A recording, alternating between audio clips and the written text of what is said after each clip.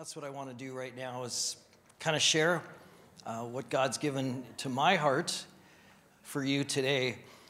Actually, the passage that I'm going to share about, uh, Matthew 11, and by the way, I know we're kind of circling back to things we've covered before, but this passage has just been uh, really, oh, I've been living in it, uh, maybe put it that way, for a few months now. Uh, I spoke on this in Thailand to the pastors and wives there. And God just put it on my heart to share uh, this word of compassion and invitation that you're going to hear this morning. And then, you know, when I was realizing today was the day that um, I'm speaking again, the Lord just uh, said, That's it. This is the passage. I want to talk to the people I love at Harvest about my heart, and I want to invite them into it in a deeper place. I love anything having to do with God's heart, as you know. And so this is a beautiful place to, to be, to dwell. So, this version of the message that I'm sharing with you right now is kind of a New Year's version of it, as you can see by the title, because I really think there are gifts from this loving, compassionate heart of God that He wants to give you today. There's three, but there's so much more that God wants to give. And I want you to be listening as you hear the words spoken uh, for God's Spirit and what it is that He does want to impart to you. He will tell you, He will quicken your heart, He'll help you realize this is it. This is something that I need, that I long for. We're going to create a place for prayer ministry at the end of my teaching because uh, it's so important that when we sometimes need a touch from God, having someone pray for us, with us, is so much more effective. So be ready for that. And that's it's just all a part of, of receiving uh, today from, from the heart of God. So, this passage, uh, I'm just going to pray and we're going to jump right in and read it. Lord, thank you for the heart you have for every single person listening right now to this message. Thank you, Jesus, that you want to come alongside us and you want to give us everything we need so that we can live for you, God, that we can serve you, that we can find your calling and your direction and your voice, and we can do the things that you've asked us to do, Lord. That's our heart to say yes to you. So, God, come, speak, connect with our hearts. In Jesus' name we ask, amen. All right passage is the famous classic Matthew 11, 28 to 30. Jesus' amazing words, and here they are Come to me, all you who are weary and burdened, and I will give you rest. Take my yoke upon you and learn from me, for I am gentle and humble in heart and you will find rest for your souls. For my yoke is easy, and my burden is light. I want to point out something uh, before I kind of dive into this passage that I learned by, uh, from another author. But there's one verse in the entire Bible, and it's in this passage, one verse in which Jesus tells us himself what his heart is like. Only one verse in the Bible where he says, This is my heart. Now, we learn a lot about God's heart throughout the whole Bible. We learn about Jesus' heart by reading the Gospels. We discover what his heart is like, but in only one place, right here, verse 29, does Jesus say, This is my heart. And when Jesus reveals his heart, self revelation, he says, I am humble and gentle in heart. That's what he wants you to know. That's his heart. That's his message. That is the kind of connection that he wants to have with you and I. He does not have an angry heart toward you. His heart is not vengeful. It is not a distant heart that you can't ever connect with. It is not uncaring. He does not have a demanding heart that just wants you to do so much more and everything and just get busy and work for me. His heart is not unpleasable. In other words, it is a pleasable heart that can be pleased. He's gentle, humble, tender, loving, welcoming. He's compassionate. He is patient. He is forgiving, generous, understanding, helpful. He is willing. He has a heart of gentle care for those who come to him. And that's the problem with many of us is we believe God's heart to be something it isn't. We believe lies about him and his heart that affect our ability to come close and trust him and feel safe with him. So may the Holy Spirit give revelation today of what the true heart of Jesus is, so that we can literally accept that invitation that he issues at the very beginning of that passage come to me, come to me. You're going to come to somebody who's loving and caring and gentle and open and receptive. And that's what he wants us all to do in whatever way we need to do that today. It's really important that we understand the context of this passage. It really helps us in all things. It helps us not only understand what Jesus is teaching, but it helps us understand how to apply that teaching. That's why the context is so important anytime we read the scripture. And in Matthew 11, and actually much of Matthew, as you know, as we've been going through the series, Jesus is helping his followers break free from the religious system of his day that focused on keeping all the rules, right? the system of the scribes and Pharisees that taught that you were a good person if you obeyed all the, you know, their man-made rules, and uh, basically they just presented a system of outward conformity and not inner reality. You know, you're pleasing to God if you try your best to keep their long list of impossible demands that no one could fully keep, you know.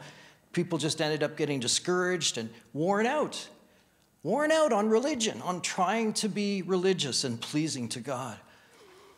Eugene Peterson really catches the heart of uh, this passage in his message version. Isn't it great? Are you tired, worn out, burned out on religion? Come to me. Get away with me, and you'll recover your life. I'll show you how to take a real rest.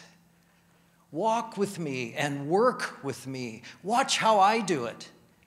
Learn, love this phrase, the unforced rhythms of grace.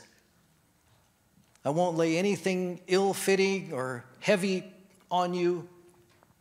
Keep company with me, and you'll learn to live freely and lightly. Wow. So, heavy and burdened. How are you guys doing? Like right now in your life?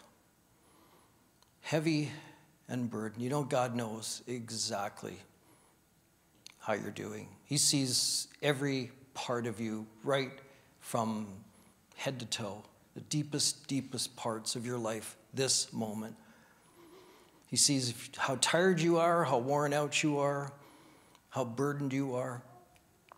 He sees those hard times that are going on right now in your life. For some of you in your family, work, he sees it all. He sees the hard things at school, your walk with God, in your ministry, your desire to serve Him. You know, He sees all that. He sees every part and the hard things in particular that you're going through and just loves you in it. He just has such compassion and such desire to connect with you in that place of hurt. You know, not to mention just living in the world that we're living in right now that is constantly, it just seems to be getting worse. All the stuff that's happening globally, wars, rumors of wars, things are rising up. It's just, this is one of the most tense times we've had to live in in a long time. And so, you know, you turn on the news and boom, it just lands on you like a weight. You know, all the darkness and stuff. God sees it, sees everything going on in your life, and He loves you, and He really wants to give you His rest. And that's the first gift today. Come to me, all you who are weary and burdened, and I will give you rest. How many of you need God's rest today? Yeah, I think a lot of us do. What is God's rest, you're asking? Well, it is this it's a sense of calm despite outward chaos. It is a deep inner settledness despite outward circumstances. It is choosing quiet trust in God versus frantic activity. It is finding the gift of peace despite the many demands of life. It is letting God do things rather than you having to make things happen. Jesus promises rest for our souls. I'm intrigued by that. He doesn't say rest for your bodies. Isn't that interesting? Because a lot of us think rest comes that we just kind of need a two week beach vacation, you know, and then we're going to feel better. And, you know, if we just don't have to do anything. But that's not what he's talking about. You see, we don't always find the physical rest we need, but we certainly can find the spiritual and emotional rest we need from him, which then gives our physical bodies the rest it needs. To understand? I'm talking about an inside out rest, not an outside in rest. Rest God from God does not come from the right outer circumstances, but rather from the right inner condition.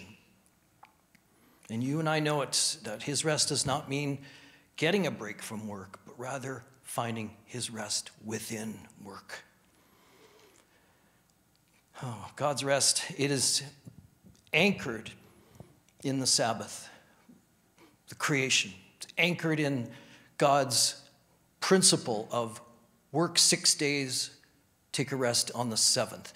That's where it comes from. And as, if we discover a pattern like that, a cycle like that, then rest is the result. We will experience it. But for our lives, I know, I know how hard it is for me. I'm not even sure what a Sabbath is. What does it mean to actually take one day? But God wants us to get into this to discover that pattern again. And, you know, I was chatting with Melissa this morning. She said I could mention this. She was talking about the emotionally healthy relationships course that's just been done, and connected to that, the emotionally healthy spirituality course. And she has said that the two minutes of silence she observes before she jumps into her Bible has been life changing. So, what she does and what the course teaches is kind of Pete Scazzero's teaching on, um, he calls it the daily devotional before jumping in, even to Bible reading and prayer, she sits in silence without saying anything, without, you know, just focusing on God, often with just one word Jesus, Jesus, two minutes minimally, at least. And she says that time has been so life changing. Even it's like a mini sabbatical within your entire life. And God has met her in that quiet place. And she says things surface that have to come out. So, you know what? We, if you can't think of a 24 hour Sabbath going, how is that possible? Even a two minute, just a place of quiet. And I know when I do that, and I just, all I say is Jesus, Jesus. Oh man, rest starts to come. It starts. So, folks, there's a gift waiting for you, and we have something we can do as well to connect with God and partner with Him in giving us that gift. Quickly, there's um, another connection to rest, and it is from Hebrews 4 that says there remains then a Sabbath rest for the people of God. For anyone who enters God's rest, here it is, also rests from their works, just as God did from his. So we understand here too that God's rest is anchored in salvation. Salvation, folks, as you know, is a choice to not try to save ourselves anymore, to give up trying to be good, self righteous, get ourselves to heaven, putting our faith in Jesus alone for our salvation, that is a place of rest. It's a rest from works. And so, once again, we just come back to the source of it all, the cross, what Jesus did for us. And we say, Lord, I need your rest practically in my life right now. How many of you guys need rest today? Any indication of that? Yeah. Yeah, I've been really asking the Lord how to process this because there's, there's two more gifts He wants to talk about. Um, So hang on. okay, hang on. Don't go anywhere because uh, we want to pray for you. That is, um, yeah, it's highly important. Second thing, his yoke. He wants to give you his yoke. Take my yoke and learn from me, he says. So you know that a yoke is a heavy wooden bar laid across the neck of two oxen that are forced to pull a cart or a plow through a field. It is heavy, difficult work. Sometimes being a follower of Jesus feels like heavy, difficult work. But according to Jesus' words, his yoke, the one that he wants you to wear, is light and easy. It's a yoke of kindness, not of impossible demands. Once again, this does not mean that life is easy and serving God has no difficulty. It means that God's yoke is a yoke we can handle. Not because we're so strong, but because He is so strong. And I think that's why I love that picture. I had that hanging in my office over many years, and uh, I just feel like that little boy, you know trying to do the work and try to get it all done and thinking that it's all on my shoulders. And so many times not recognizing the fact that He's in there with me, right in that yoke, pulling, doing the work, and I'm just with Him as a partner. So we're all in this room, I would think, most of us, probably all of us, we're all devoted, hardworking Christian people. We're all Marthas to a large degree. Marys as well. There's, there's Marys in this room for sure. We're a mixture of both. You know, we've got a Martha side, we've got a Mary side. Uh, a lot of Christian people have a predominantly Martha side. It's interesting. I've really taken surveys of this in a lot of churches that I've been a part of. And when you ask, you know, who do you most, you know, connect with uh, in terms of Martha or Mary? Most people connect with Martha the worker. And that's great. That is fantastic. Church needs Marthas. We need people who are dedicated workers. But the truth is, we put on ourselves a heavy, ill fitting yoke that even Jesus wouldn't ask us to wear. You know, so many of us are trying to do more than our share for the Lord and His work. And why? You have to ask, why do people do this? It's true, sometimes we do it because there is something unhealed in us, some place of brokenness, you know, some need we have to prove ourselves, prove something to somebody, to earn God's love, some insecurity, you know, that we're not good enough and we're never enough. And, and so we've got to do more you know, be better as a Christian. Perfectionism among Christians is rampant, it's debilitating. Thinking that we have to do everything right. Why is this? You know, perhaps we think because God is perfect, we're supposed to be perfect, or, you know, that He expects that. And I know over the years, you know, we've all heard pastoral teaching and we teach high standards. We do. We teach high biblical standards. So we all think, wow, we got to measure up there. But we teach those standards without teaching about grace in the same way, right? Grace balances it all out. And Ruth's praying for the moms here this morning. It was all about grace from God. You don't have to do it perfectly, you won't. There's forgiveness, there's kindness. And God wants us to, to work, but He wants us to do that with a sense that we are under His gracious care, and He's not demanding more and better from us. In the end, perfectionism all boils down to not understanding God's true heart for us, folks. Think about it. His humble, gentle, gracious heart. Perfectionists think they need to please somebody, and so they work hard to do it. If we understood and accepted his heart, received it, lived in it, we would find the perfectionism starting to drift away. How many of you need a yoke exchange today? And by yoke exchange, I mean taking off the one you're wearing right now that is exhausting you, that is too hard to bear, that is making you absolutely worn out. How many of you need to take that yoke off and put on the one that Jesus gives you that fits, that is easy, that is light, and in which he is yoked together with you? Anybody need a yoke exchange? That's something we're going to pray about, okay? So hang on. Don't go away. One more. One more gift. And this uh, last gift in the passage, far from the last thing God wants to give you. As a matter of fact, you might hear these three things and you go, I'm good in those things, but boy, do I need, you know, this or this. That's fine. You know, you never know what God is saying when, when, you, when you stand up here and bring his word. But the third thing in the passage is his apprenticeship. Apprenticeship. Verse 29 Take my yoke upon you and learn from me. God invites us once again to let Him teach us and instruct us and guide us and mentor us and show us what to do and how to do it. And stop trying to figure out everything on our own. He is the master teacher who is more than willing and able to show us and tell us what we need to know. Be my apprentice, he says. That's his invitation.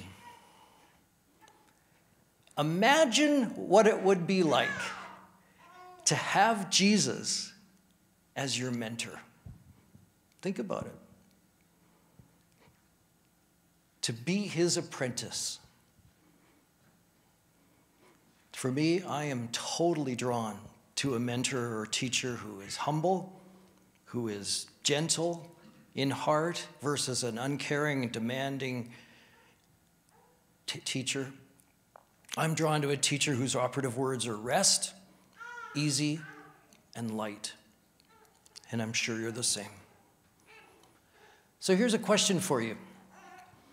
If you could have Jesus mentor you in one thing this year, what would it be? In what way, in what area do you believe Jesus wants to mentor you? For you to be his apprentice? In what specific area? For example, is it how to sit at his feet? How to take those two minutes of silence every day? beginning your day, how to listen to Him, how to hear His voice, how to love Him, how to feel close to Him, how to encounter His heart like never before. He would love to mentor you in that. He'd love to do that. He's waiting for that. Just got to say, that's what I want to learn. Or does he want to mentor you in discovering and developing the unforced rhythms of grace versus wearing yourself out by overwork? Does he want you to find an easier and lighter load in this new year and beyond? Jesus, I want to learn that. Does he want you to develop a daily practice of Bible reading and prayer? Just getting into the Word, really getting in. I mean, consistently. I'm talking every day. I used to say, you know what, if you're reading your Bible regularly, that's great. You know what? We got to read the Bible every single day of our lives, holidays included. I'm not kidding you.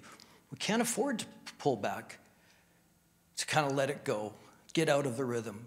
It's so important. See, Jesus, I need to learn that. That's hard for me. That's hard. It's hard for some of you. Some of you have drifted.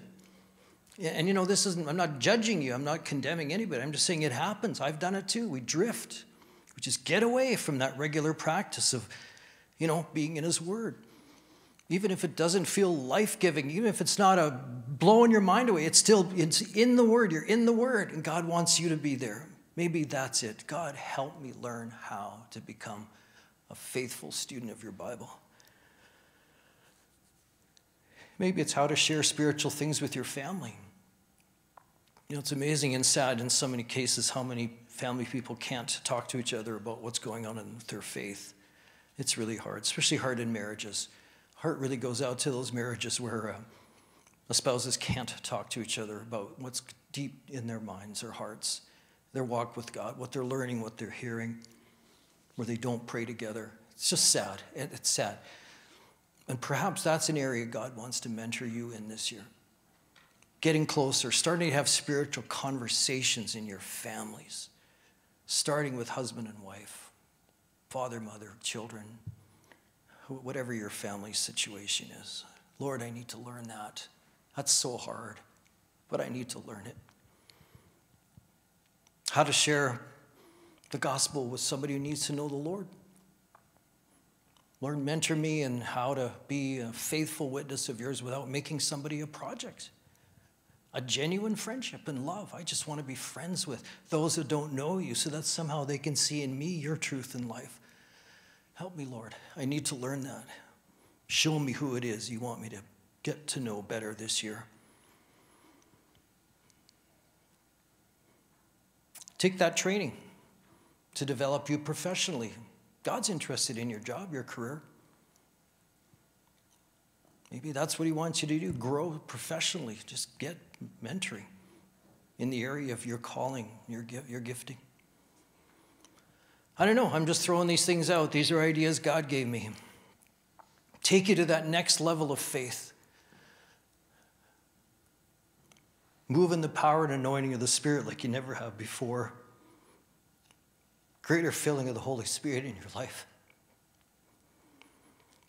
Late December, I had a really cool time with the Lord and just said, you know, what do you, what do you want to tell me for 2024? and um, you know what he said to me? He said, um, Bobby, what's the desire of your heart for this new year? I just couldn't believe how beautiful that is. What a gift you know, for God to ask me, what's, what are the desires of your heart? And, you know, a lot of us Christians are afraid of that, right? Because you think, my heart, you know, it's evil. I can't think of, you know. Here, look at guys. The closer we get to God, the more we get to know Him, the desires of our hearts change to become His desires. Don't be afraid of the desires of your heart. And so the freedom that He gives us as His maturing sons and daughters, you know, what's on your heart, Bobby, for the new year? And I, I did, I came up with four things. And um, interestingly enough, they all involve increase. Increase seems to be a word for 2024, by the way.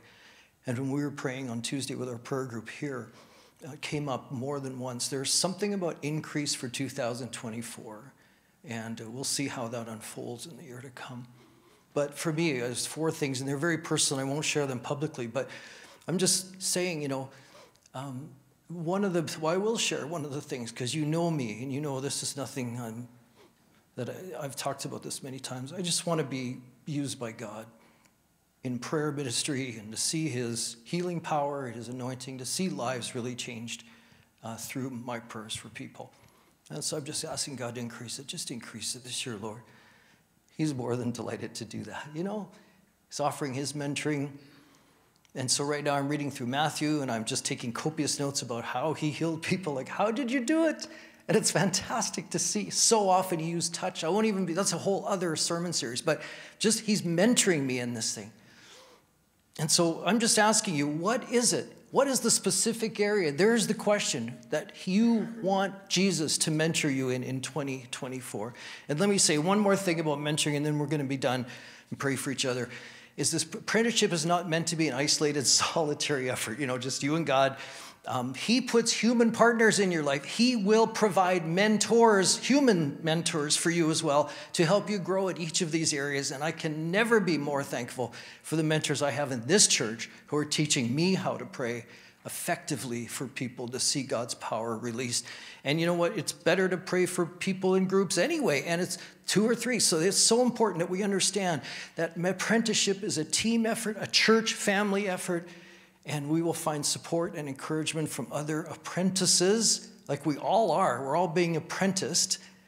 We're all on a journey of growth and becoming like our great teacher, the Master, Jesus Christ. So there you go.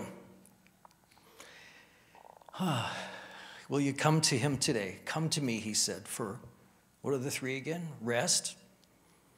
What was the second one? Yoke, thank you. And then this one, apprenticeship.